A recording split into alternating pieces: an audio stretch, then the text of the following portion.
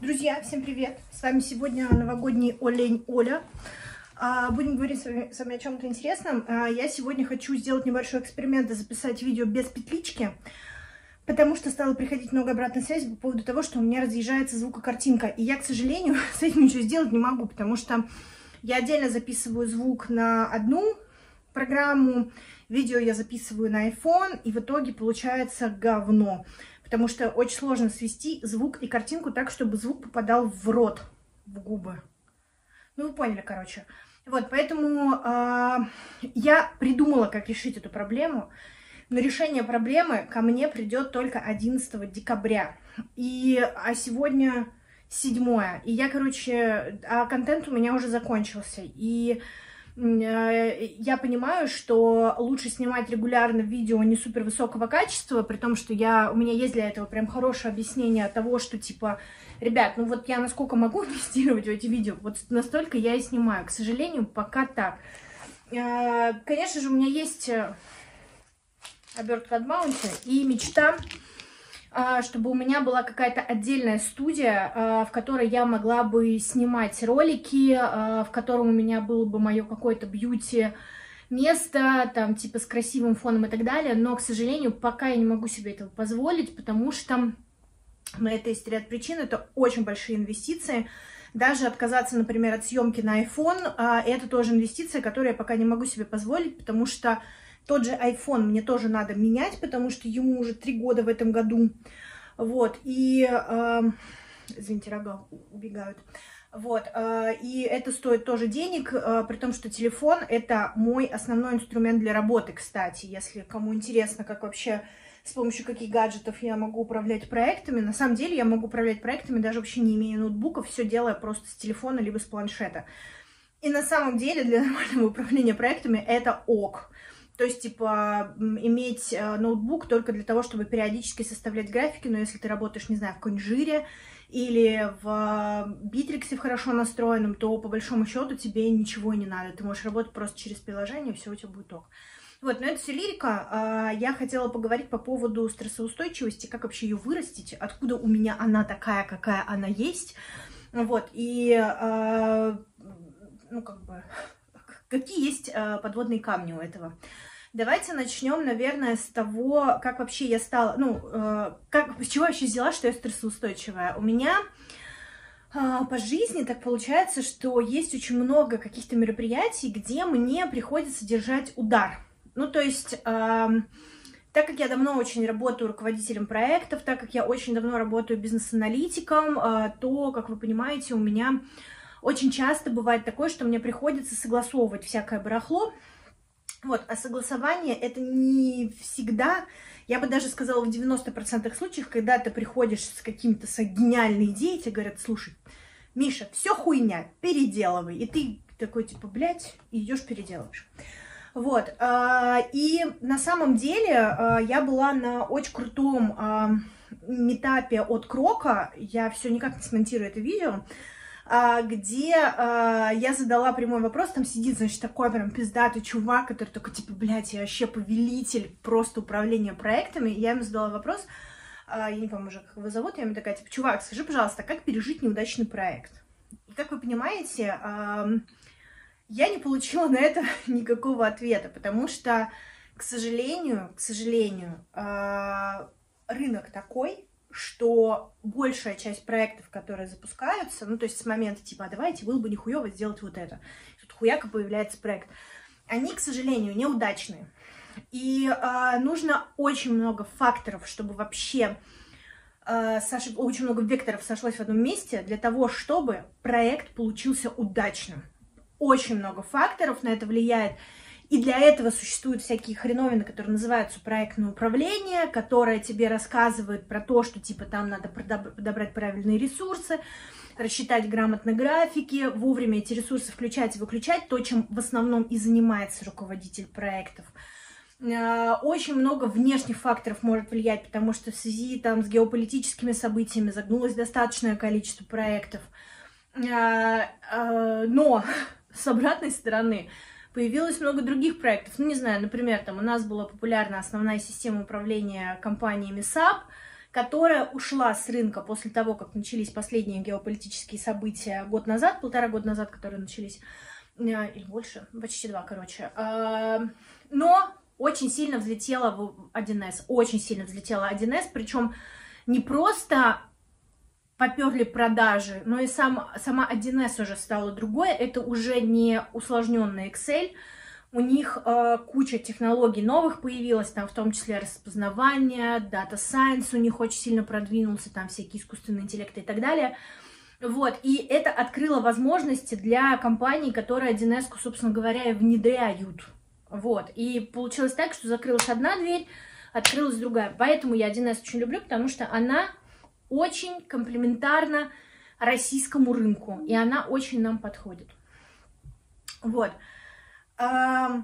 Что хочется сказать по поводу стрессов, это я к чему все веду? К тому, что на самом деле, а, вот если посмотреть там общее количество проектов, которые там типа от идеи было бы нехерово до конца реализации, а, ну, процентов 80, наверное, получаются, ну, это моя личная оценка, такая, знаете, шапка в огород, они неудачные, потому что, там, не знаю, нам было бы нехерово внедрить, там, не знаю, новую систему управления, то ресурс какой-то ушел в какой-то момент, а, то вовремя не видели денег, то, не знаю, упустили где-то сроки, то у тебя ушел ключевой сотрудник, то у тебя заказчик долбоеб. Ну, короче, до хрена событий, которые вообще на это влияют. И, и большую часть ты даже а, не сможешь просчитать, потому что ты, у тебя на входе, вот, например, ты когда входишь в новый проект, не можешь, знаешь, у тебя начальник, там, начальник, например, или заказчик долбоеб ты это узнаешь только тогда, когда ты проработаешь в этом проекте порядка четырех месяцев. При этом четыре месяца, если ты работаешь в какой-нибудь компании, которая работает э, больше, наверное, 10 лет, из них ты будешь отрабатывать дедовщину, потому что ты придешь такой, я, у меня есть охуенная идея, тебе будут слушай, мы эту идею выдвигали там лет назад, и у нас ее не приняли. Вот, и у тебя 90% твоих идей, они вот так вот будут э, порезаны. Вот. А плюс ко всему нужно будет отставить авторитет перед персоналом. Ну, короче, и это все очень стрессовая среда. Супер стрессовая среда. Как я с этим совсем справляюсь? Первое. Я все воспринимаю как игру. Ну, то есть э, я...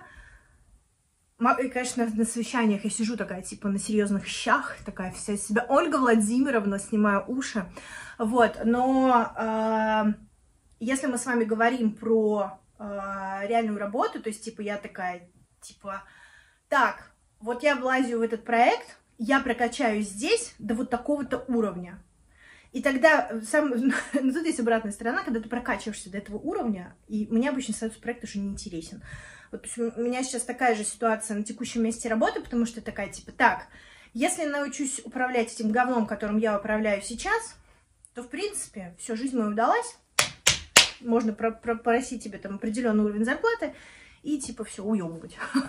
Но, к сожалению, э, а, и, к счастью, рынок мне готов предложить эту сумму, вот, но, к сожалению, для моего работодателя меня уже сейчас на текущем месте работы не удержать, потому что я понимаю, что тот опыт, ту игру, которую я хотела пройти, я уже ее прошла. То есть я прокачала своего внутреннего персонажа, руководителя проектов до такой степени, что мне дальше уже будет работать неинтересно. Вот, а, но это очень хорошо позволяет а, справляться со стрессом. Второе, что мне помогает, конечно, психологическая помощь. А, я регулярно слежу за своей психологической гигиеной. Я обращаюсь, не стесняюсь обращаться к специалистам, если я зашла в какую-то трудную ситуацию, тупиковую. И психолог никогда не дает советов и коуч, но он настолько грамотно, если это хороший психолог, хороший коуч. Я уже говорила, если нужны контакты, пишите в мой телеграм-канал, я вам дам контакты, либо здесь в комментариях, как-нибудь состыкуемся. Это не реклама. Я у них работаю за абсолютно полную стоимость. А, я являюсь таким же клиентом, и это вообще мой жизненный принцип, что если я что-то покупаю у друзей, я никогда не прошу скидки, я все покупаю за полную стоимость. Это прям принципиально. И если есть возможность с друзьями не работать, я не работаю. Но мой психолог и мой коуч — это не мои друзья, это люди, которых я нанимаю для а, оказания мне определенных услуг. Ну, давайте вернемся обратно.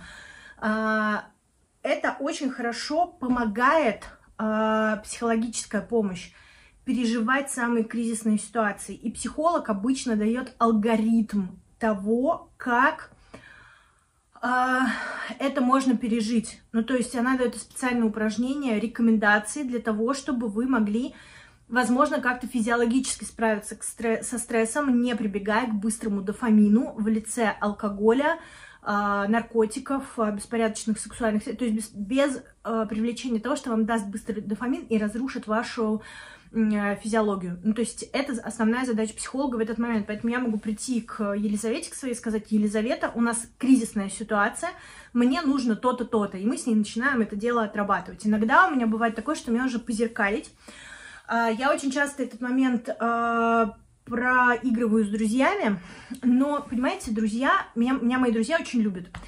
И э, они очень часто дают советы, исходя из любви ко мне, вот, и э, они не всегда объективны. А вот тогда, когда ты общаешься с психологом, и она тебе задает вопрос, или он тебе задает вопрос, типа, «А что будет вот в этом случае, что будет вот в этом случае, она вот именно как такой риск-менеджер-бизнес-аналитик, э, который может вам в любой ситуации помочь принять решение именно за счет хорошего, грамотного аудита. Поэтому я прям рекомендую обращаться, не обязательно там к моим девушкам, с которыми я работаю, их до хрена на рынке, но это помогает мне поддерживать себя в более или менее стабильном состоянии, потому что э, мне вообще последнее время очень много приходит обратной связи от коллег о том, что типа, Оля, ты так держишь удар, а я сижу просто с каменным лицом, я готова их всех просто уебать, тех мудаков, которые мне не дают нормально работать. Но при этом я стараюсь не показывать каких-то лишних эмоций. Uh, у нас есть в компании возможность давать обратную связь, которая хуево работает на самом деле, давать обратную связь коллегам и, uh, ну, как бы за счет этого, типа, сбросить пар но тоже не всегда помогает на самом деле. Когда ты сидишь в моменте, и тебе начинают у тебя вводить, задавать вопросы, Uh, у меня есть очень тяжелый проект, там, где у меня очень тяжелые отношения с коллегами у всех, потому что там есть чувак, который постоянно обещает и не делает. И уже мы на него влияли и так и сяко наперекосяк, ну, не знаю, только в колено я ему не стреляла, в остальном, как бы, я все усилия приложила для того, чтобы там одна задача была выполнена. И мы с ней ебемся уже просто полгода, и все никак. Ну, то есть, типа, там ситуация такая, что мы готовим данные для того, чтобы выполнить задачу, приходим, и такой, а мы вот это вот еще сделаем. И такие, типа, блядь, чувак, ну этого же не было в изначальном ТЗ. Он такой, но мы сейчас рассчитаем, там будут большие расхождения, нам придет негативная связь, э, обратная связь от бизнеса, там туда-сюда. Ну, короче, вот какие-то такие истории. И это прям очень тяжело психологически, потому что я очень много эмоционально вложилась в эту задачу. И вот этот стресс в какой-то момент меня сломал. И тут есть еще один способ борьбы со стрессом, это уходить из проектов, которые, которые вас не удовлетворяют. Есть вероятность того, что вы в какой-то момент выровняетесь в этих проектах, то есть вы станете быть, там, не знаю, идти по графику, у вас все станет классно, но понимаете, в чем тут фигня? Пока вы ждете, что вы вот сейчас получите вот этот дофамин за счет выполненной задачи, у вас накапливается кортизол. И он накапливается каждый раз, когда вам переносят сроки. То есть вам могут переносить сроки там типа 3-4 раза, а дофамин за это у вас выделится один раз. То есть чисто математически этот кортизол, э, ой, этот дофамин не перекроет вам кортизол, который вы потратили на ожидание. И получается, что ваша инвестиция в эту задачу, она не окупится. И это с вероятностью там типа 80%. И так даже тогда, когда у вас эта задача будет выполнена, вы не получите от выполнения этой задачи удовлетворения, потому что инвестиции не были окуплены. Если, конечно, понятно, что вы за это, не знаю, получите там какую-то охуенную премию и так далее, но это точно не мой случай, потому что там была одна очень неприятная ситуация, связанная с тем, что чувак вот этот, который мешает проекту, его отметили э, при максимально высоком руководстве, там его даже фоточку в одну из презентаций вставили, а мне за это дали, там у нас есть какие-то бонусная какая-то система, я еще не понимаю, как она работает, дали бы деньгами, я бы не выебывалась. И мне дали, два, отсыпали 20 каких-то хуйней, потому что весь проект тащу я на себе, на мне и аналитика, и реализация задачи, все. А мне даже спасибо прилюдно не сказали. Причем мне об этом сказала моя коллега, мне было так обидно. Ну, то есть, типа, я сижу там ночами, готовлю данные для загрузки по заказу этого чувака, который в итоге оказались, что не нужно было их делать. А его отметили, а меня нет. И это было так обидно. И еще повтор... мне еще там пытались присунуть третий проект. Я два месяца боролась, чтобы у меня эту задачу отобрали. Э, вернее, забрали, чтобы ей заниматься кто-то другой. Но реально это было очень тяжело, потому что очень большие объемы, я на эти объемы не подписывалась. И представляете, сколько я потратила кортизола. При этом, э, ну, типа, я не брыкалась, ничего, я брыкаться начала тогда, когда я просто обложилась цифрами, это, кстати, тоже хороший способ борьбы с э, стрессом, тогда, когда вы материально или на каких-то цифрах видите результат своей работы, тогда вы получаете дофамин искусственно за счет того, что у вас задачи эти выполнены, что я молодечек, а, и начинаете гнуть права. Но тут вот лично у меня есть обратная сторона медали, что я в этот момент просто превращаюсь в обезьяну с топором в серверной.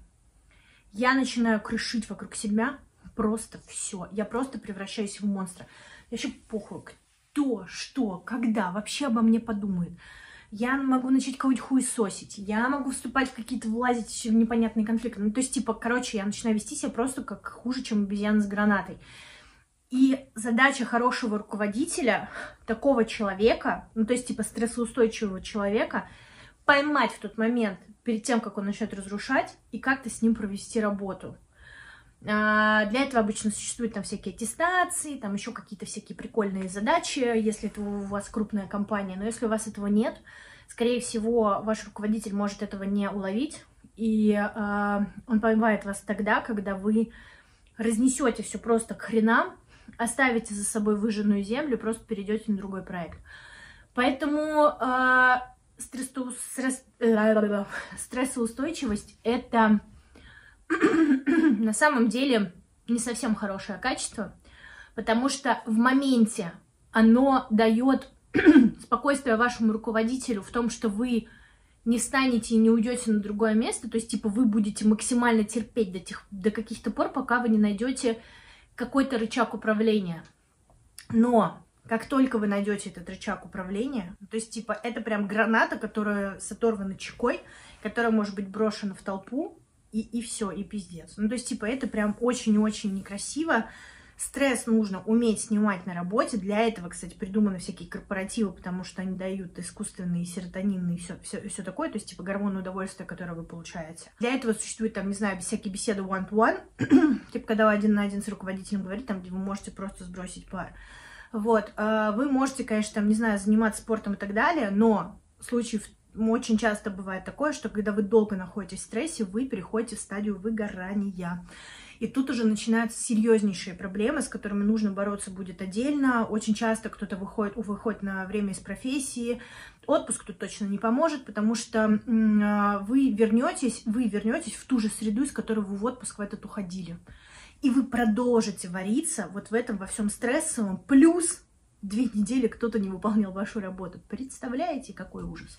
Вот, и это прям на самом деле проблема. К сожалению, работодатели с этим редко вообще кто работает. А, и, ну, как бы, это тоже может привести к очень неприятным последствиям. Поэтому мои рекомендации, как выработать себе стрессоустойчивость, я дала свои личные лайфхаки, но стрессоустойчивость — это не панацея, потому что у этого есть обратная сторона медали в виде того, что накопленный стресс, то есть вы как пружина во время стресса сжимаетесь, и тогда, когда пружина может разойтись, разрушения могут быть чудовищными. Знаете, когда резинка рвется. Вот примерно такие последствия. Я решила выкладывать это видео без монтажа. Вот, а, подписывайтесь на мой канал, выкладывайте его мертвыми чайками на берегу, кричите его во время оргазма.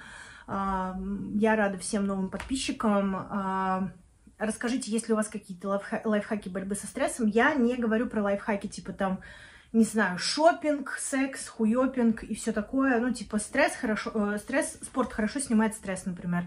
Какой-нибудь, не знаю, бассейн хорошо снимет стресс, баня, встречи с друзьями, там еще что-то. Это все искусственные методы снятия стресса. Я вам говорила именно вот то, что связано с работой, где вы можете нивелировать эту историю. Вот, поэтому мы увидимся с вами в следующем видео. Пока, а вы расскажите о том, какие у вас методы борьбы со стрессом.